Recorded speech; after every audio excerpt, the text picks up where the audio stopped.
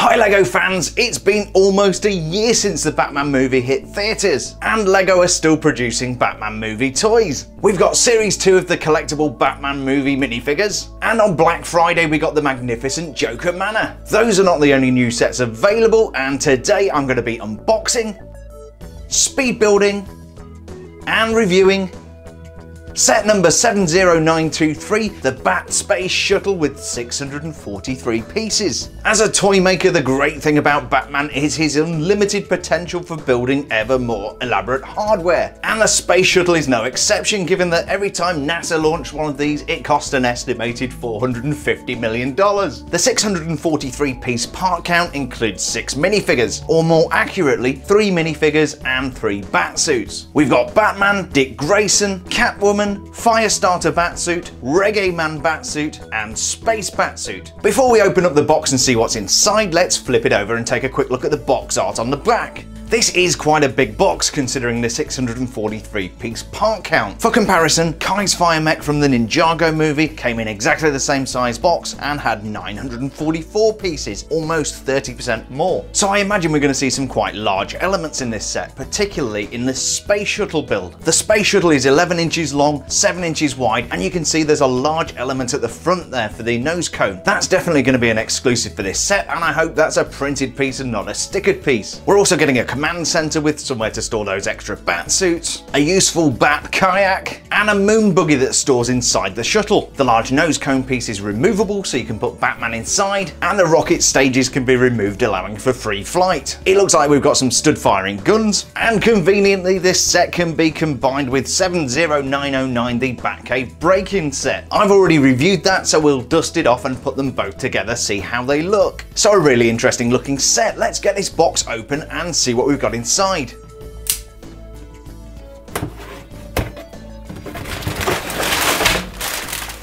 Here's everything that came inside the box.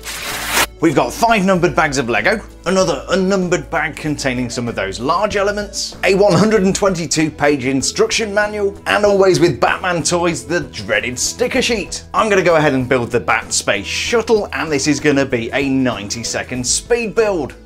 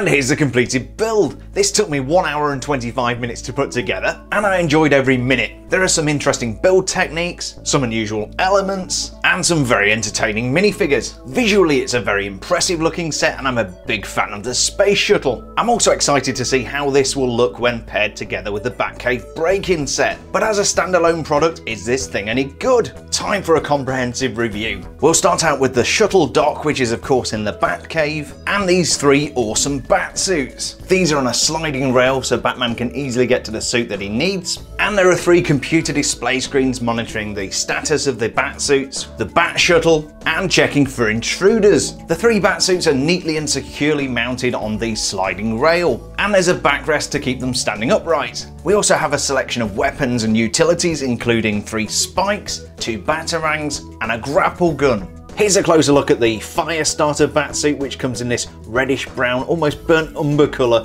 which is very appropriate. Great print on the front there with Batman's abs, a printed utility belt, and the Batman logo in flames, which is very cool. He's got the matching cowl there in the same colour. Uh, let's take a look at the printing on the back. Yeah, very typical of Batman. He's got the uh, definition for his muscles here and the back of the utility belt. And then we've got this slightly old style yellow cape uh, which is more papery. I really like the new Batman capes, which are very soft, but that's the Firestarter Batsuit. Here's the awesome Reggae Man Batsuit, which of course becomes Robin's costume. This is an awesome thing. It's super colourful and this headpiece is awesome. I'll show you that in a second. We've got these dual moulded legs and with printing on the side. We've got dual moulded arms. We've got the awesome printing on the torso and then this headpiece, which is very heavy for a Lego piece of headgear. This is a huge piece of plastic uh, with multiple mouldings in there. That is just superb. We've also got the, uh, the gold there for the cowl. That's just a beautiful, beautiful thing and that's gonna be pretty collectible, I'm sure. He's got this older style papery cape and a little bit more printing on the back there with the jaunty angle utility belt. And finally, here's the Space Batsuit, which is another awesome suit. He's got this big piece of headgear here with breathing apparatus in, almost looks like one of the Halo helmets. Let's just take that off for a moment and we can take a look at the printing. Uh, huge amount of metallic printing on the front there. Very, very cool with the Batman logo and all of these pipes. And if we turn him over, we've got something very, very similar on the back. Very unique printing. He's got a standard Batman utility belt and the standard Batman soft style cape, which is always very nice to feel. And then we've got some more printing there on the legs. And if I can get this back on, there we go, that is the Space Batsuit. At the far end of the dock, you can see where this will connect to the Batcave break-in set. We'll be trying it out later. Behind the dock, we've got this rocky outcrop which forms the foundation for the floodlights. This is perfectly colour coordinated to fit in with the Batcave break-in set. The floodlights are on a pivot so you can illuminate either the Batsuits or the Space Shuttle and they can be pivoted up and down independently so you can pose them exactly as you need them. The Space Shuttle launchpad is pretty basic. It's also very close to a lot of other equipment that might be heat sensitive, but Batman's a resourceful guy and I'm sure he's got that figured out. There's no gantry for the Space Shuttle, it simply sits behind the launchpad as you see. And there are some red warning lights at the back, but that really is it for the Space Shuttle launchpad. As the Bat Space Shuttle is a huge piece of hardware, it's kept in the farthest reaches of the Batcave. For that reason, Batman has a convenient Bat Kayak to reach it. The Bat Kayak has a convenient rotating display stand and can be easily popped on and off using the studs. Here's a closer look at the Bat Kayak. For the most part, this is exactly the same element we get in the LEGO City range, except here it is in Batman's signature black colour. And of course, a normal kayak isn't good enough for Batman, so his has a jet engine fitted and some bat wings. This passes the all-important minifigure test, but Batman needs to take care to ensure his cape doesn't get sucked into the jet engine. The Bat Space Shuttle is a sturdy build, and it stands very solidly on those three rocket boosters so you don't have to worry about it falling over. If you want to, or you have limited display space, you can also sit it on its side. The Bat Shuttle also has two pop joints so you can detach it from the rocket boosters. We've got two spherical couplers on the front of the external liquid fuel tank, and those snap into receivers on the base of the Bat Shuttle. As with the real Space Shuttle, a good proportion of the height is made up from the rocket boosters, with large external liquid fuel tank and a pair of reusable solid rocket boosters or SRBs which can be detached from the main external liquid fuel tank. This set is definitely a great source of these tubular elements, and I really like the two that we've got at the top here making up the external fuel tank. Inevitably we've got some stickering for the Batman logo, and it's always tricky applying these to curved elements. With the rocket boosters removed we've got a much smaller build, but it still looks very impressive. The large custom printed nose piece gives it a sleek and futuristic look. Every silver lining has a cloud, and unfortunately the Bat Shuttle wording on the side of the same piece is a sticker, not a print. It's such a shame that LEGO couldn't have printed that at the same time. The windshield is a single yellow transparent element that pops in from behind. And we've got a couple of these metal ingot elements in black, denoting where the top of the cockpit comes away from the shuttle. This lifts away pretty easily, revealing somewhere for Batman to sit. And now you can see that yellow transparent element with this convenient flange for removal. There is very little in terms of control gear inside the cockpit, but it does pass the minifigure test with plenty of room for Batman to sit inside. Other than that, control is limited to a pair of sticks, and the flight computer which is a stickered part. Behind the cockpit and just like the real space shuttle we've got a cargo bay and this actually opens up very nicely. This is very neatly designed and hides a third vehicle, the Bat Moon Buggy. The only thing we're missing here is a robot arm to lift the Bat Moon Buggy out of the Bat Shuttle. But thankfully this isn't real and I've got fingers.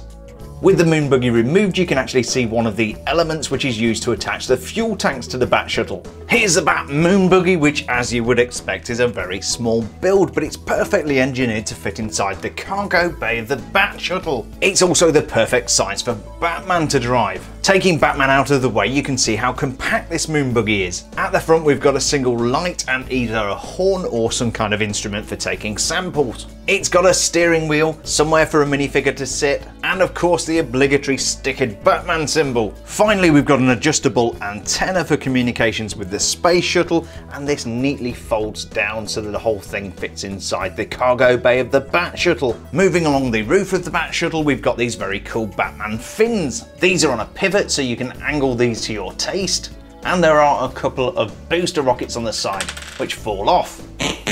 and we have these small adjustable boosters on the side for making fine alterations to the space shuttle's trajectory. We've got some more sticker detail at the back of the shuttle warning about the hot exhaust, and this hardware on the wings which looks suspiciously like a pair of stud firing guns. I feel a demo coming up in a moment. The main rocket booster looks very impressive with that transparent orange piece, and we have a pair of smaller boosters on each side. That large black gear looks like it does something, but it's actually only there for decoration. Just like the real space shuttle, we've got this delta wing design, although Batman has added some adjustable wing tips. Batman loves his weaponry and LEGO know their customers well, so we have not one but two stud firing guns on each of the wings, totaling four. We also get a lot of spare silver studs because we're bound to lose loads of these. Shall we see these in action? Of course we shall. And if you're very dexterous, you can fire these both at the same time.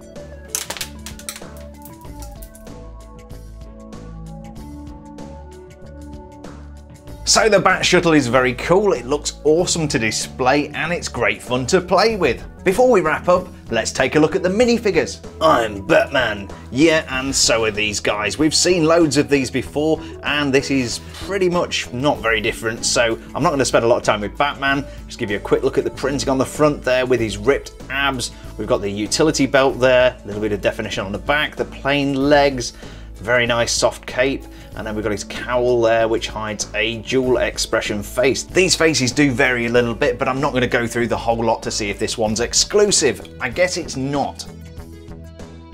And with the cowl replaced, that's Batman. This is Dick Grayson, he's a great minifigure. I really like the headgear here, and if we turn that around, we can see there's an alternate expression on the back with a look of wonderment. Let's just take that off so you can see his eyes and there he is again with a smile. That's just a great smile, great headgear, and the outfit is pretty good too. We've got these printed blue jeans and then this red shirt or the red sweater and shirt combo I should say. Now if you look very carefully at the print on the sweater, I'm pretty sure those are birds, so that would be a hint to Dick Grayson being Robin if I'm correct. But a great little minifigure, great one to have. And finally we've got the awesome Catwoman minifigure. Now as far as I can tell this is the same minifigure that came with Catwoman Catcycle Chase which is a set I've reviewed before. She's got awesome printing on the front here with the zipper going all of the way down that purple catsuit. And if we flip her over, got some more metallic detailing on the back there. We've also got some side printing on the arms. She needs this protection, I guess, for her um, you know, cat burglary activities. And then we've got this kind of cat-like cowl with the great metallic detailing around the eyes. We take that off, the head is purple underneath and she's got dual expressions, which are very similar. She's just got her teeth showing there. Really nice that that print is nice and crisp on the purple background as well. And she comes with her signature whip. So that is Catwoman. At the start of the review, I promised I was going to put this together with the Batcave break-in set, and here it is. The set's simply pushed together, there's nothing to actually clip these together. And together they do make quite a large footprint, which is going to be quite awkward to display. So it looks kind of cool, but no more cool than putting two different sets together anyway. I wouldn't recommend you rush out and buy Batcave Break-In to go with this one, but Batcave Break-In is a good set and you should definitely check out my review if you've not already done so. So let me get that set out of the way and then we can wrap up with the Space Shuttle. So that was set number 70923, the Bat Space Shuttle from the LEGO Batman movie. In conclusion, this is a very nice addition to the 2018 wave of Batman movie sets. I do think this is a little expensive at the $80 price point, but LEGO know that collectors are going to buy this set for the minifigures. Those batsuits are awesome, particularly the Reggae Man batsuit, which of course becomes the Robin costume. And the shuttle is pretty well designed. It's true to life with the rocket boosters, and the Bat Moon buggy that fits inside is a very nicely designed feature. So would I suggest you go out and buy this on the 1st of January? If you're a hardcore collector then maybe but this is likely to be on sale for the next two years, and there's no doubt that retailers like Amazon and Toys R Us will start discounting in a few months. So it does come with my recommendation, but you might want to wait a little while just for that price point to come down.